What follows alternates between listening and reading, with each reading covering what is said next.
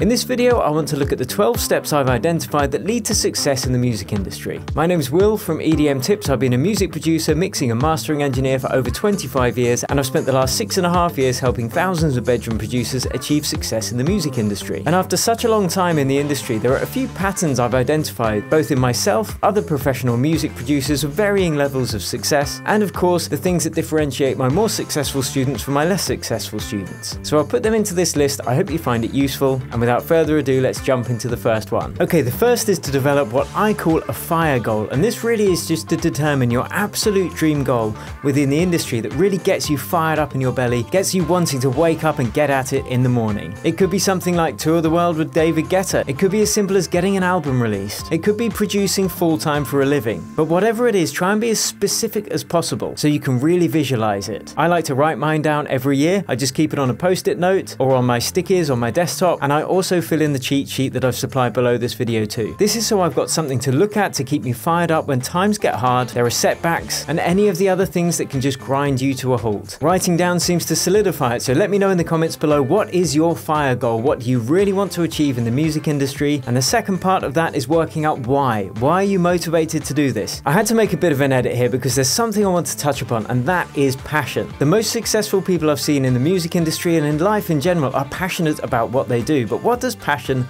really mean? Well, the best definition I ever heard was passion is a combination of hate and love. So, for example, you might absolutely hate the thought of lying on your deathbed and knowing that you never really gave music production a chance. Maybe you just hate the thought of having to do your day job for the rest of your life. Simultaneously, you might absolutely love the vision of you touring the world, playing your music to thousands of people, and making money from the thing that you love. And that passion drives people forwards. And you can cultivate it in yourself. And something I've noticed in both myself and other people that have attained any level of success is that quite often it's a traumatic experience that kind of solidifies this passion. I've seen people lose loved ones, I've seen people lose jobs, I've seen people get sick and realize they don't have that long left on this world. And at these points, you have a choice. You can either let that break you down and, and stop you, or you can use it to galvanize yourself and add fuel to your fire to just commit to making this happen. And that is actually success step number two. Once you've decided on your fire goal, commit to that dream and just know that nothing is going to stop you getting there. This will help you find ways over, under, or around any obstacle that might come into your path. Without a doubt, every producer that's achieved any level of success within the industry has had to push through some very difficult setbacks. Maybe they didn't have enough money to buy a piece of equipment. Maybe they grew up in a part of the world where there were no contacts, no nightclubs. Whatever the difficulty is, if you commit to achieving it, you will find a way. And the reason is you'll start asking yourself how to get past that difficulty. And it's incredible how creative a motivated human can be.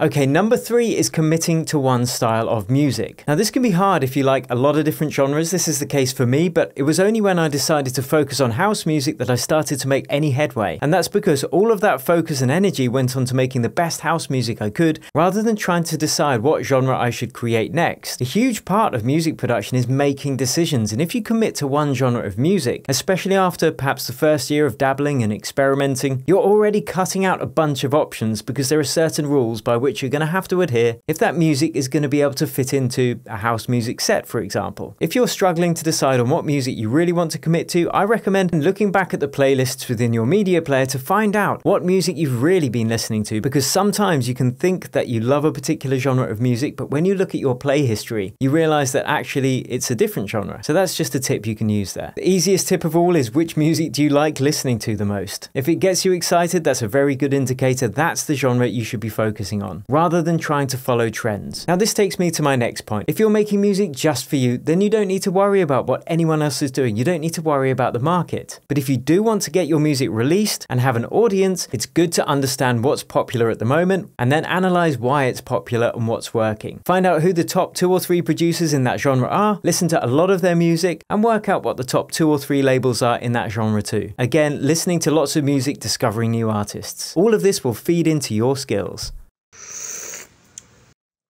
Bonus tip drink coffee. Now, a common mistake I see producers making, especially if they're beginner producers, is thinking that they have to develop social media presence, get their music out there and promoted, but really your main focus should be first getting good so your music is comparable to your favorite producers. When you get to about 90% of the way there, yes, you can start releasing your music, but if you're trying to build an Instagram following or a Facebook or TikTok following, that's time you could be spent improving your skills, and ultimately, those are the things that are going to make your music marketable. There are a couple of reasons why it's good to have some social media presence, and I'll touch upon that shortly, but I wouldn't be trying to build an audience. Okay, success habit number five is set realistic sub goals. So if your goal is to tour the world DJing with David Guetta, but you're only just starting out, you need to have more achievable goals in the short term to keep you motivated. Now, this could be being released on a particular label or collaborating with a certain artist who's a bit more at your level, obviously, hopefully, a bit better than you are. But this brings me on to the next habit, which is developing process based goals. Now, what I mean by that is having a goal of taking the action rather than a goal of the outcome. Because if your goal is to be released on a label like Anjunabeats, for example, there could be loads of reasons why your music isn't being released on it. Of course, it might not be good enough, but even if it is good enough, maybe there's no space on the release schedule. Maybe they're just not looking for that kind of music at the moment. Maybe they just missed the email. There are so many external factors that come into play that if all of your success is based on external goals, when something gets in the way and it doesn't happen, it's going to make you want to give up. Whereas a process based goal is something that you are entirely in control of. So if you commit to producing 5 to 10 hours per week, for example, that's a process based goal. If you commit to finishing one track per month for a year, that's all something that you are entirely in control of. And every time you hit those process based goals, you're going to be better at what you're doing and you're going to feel that release of endorphins as you hit a goal, which is very important because we all need to be making some progress, otherwise, we'll get disheartened. So, what I recommend doing is working out what your process based goals are, have them fit into your schedule in a realistic fashion. So, if you've got a full time job or a family, probably don't say I'm going to produce 40 hours every week, getting up at 4 in the morning each day, because it ain't going to happen, okay? But if you can focus on your music for 5 and ideally 10 hours per week, there is no way that you are not going to be getting better. So, you can schedule those sessions into your calendar in advance, maybe even a year in advance. And it doesn't mean that you're dogmatically going to have to stick to every one, but at least you've got a framework where you can start making progress. Okay, success habit number eight, and that is self analysis. So, with every track you finish, it's your duty to listen to that music, compare it to your reference tracks, and work out where your weak spots are. And we all have weak spots, and all you can do is identify them, then make them better. Do you struggle with melody and harmony? Is it the sound design or the sound selection you're struggling with? Is it your mix that doesn't sound great? Maybe you don't know how to sound design. Maybe you don't have enough good samples or presets. Whatever your weak spot is that's holding you back, it's best to focus on that because that's going to be the bottleneck. Which brings me to my next point get your shit together.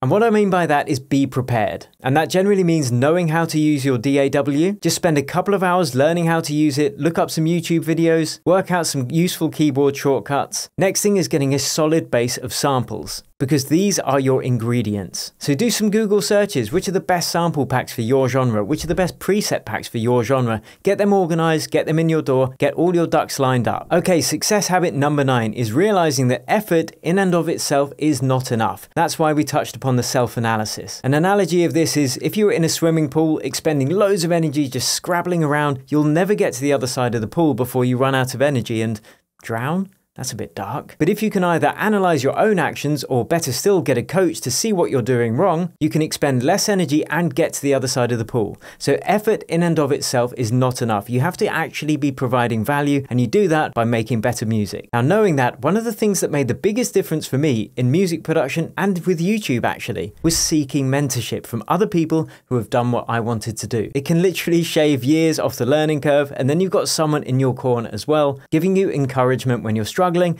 and pointing out the pitfalls and where you shouldn't be spending your time. So seeking mentorship and valuable feedback is success habit number nine. Now, number 10 is community and networking. And this is why I said it's good to have a social media profile so you can reach out to people and take part in communities without wasting time trying to build an audience. Every opportunity that you have in the music industry comes through other people. So if you can provide value to them in some way, you never know how that's going to come back and repay you. Now, that could be offering to do a free remix for someone. That could be offering to DJ in a club for free for a couple of sessions. Whatever it is, if you can reach out to people online or even better in person, you're going to start building a network of people. And three or five years down the line, there could be an opportunity and someone's going to think of you and they're going to say, This is the right guy or girl for the job. That's happened to me countless times. So if you always try to identify the people within the industry and specifically within your genre, and then think of ways you can make their life easier, I promise you it's going to pay dividends in the long run. That could be liking and sharing an artist's music, it could be supporting them by buying their merchandise or going to their gigs. There are so many options now when it comes to social media. But identify what those communities are within your genre and take part of them. Be an active, useful, productive member of that community. Number 11 is the ability to not take things personally. Now, this is difficult, especially when it comes to feedback, because, for example, music production is always going to be something personal of us. So when someone doesn't like it, it's easy to take offense at that. But even though it's difficult, it's an essential skill to learn. And if you seek feedback from the right people and invite them to give you honest feedback, it will make them feel comfortable to be honest and they will have your best interests at heart. If you make trance and you ask your friend who listens to rock music if he likes your trance track, he's probably going to say no, even if it's the best produced trance track. Whereas if you ask your mum whether she likes it, she's going to say yes whether it's any good anyway because she's your mum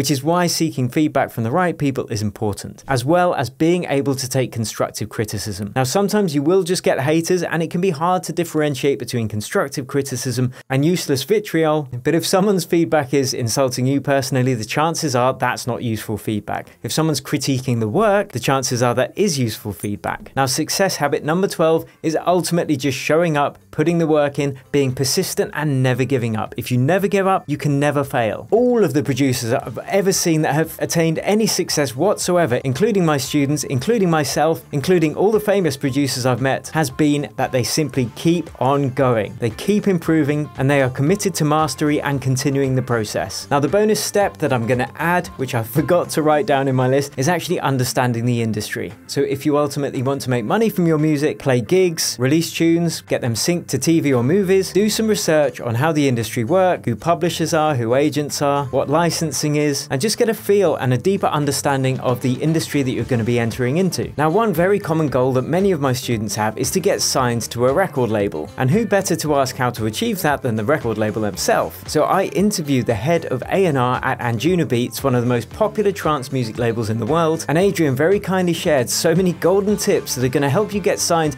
not just to Anjunabeats, but any record label. We go into what A&Rs actually do, the kind of music that they're looking for, and the tips and tricks you can employ to get your music heard and signed by the record label you want. So you can check that video out right here, but before you do that, if you enjoyed this, found it useful, give it a like, download that cheat sheet below this video and consider subscribing to my channel for music production tips each and every week, and thank you for watching. I will catch you over at that next video with Adrian.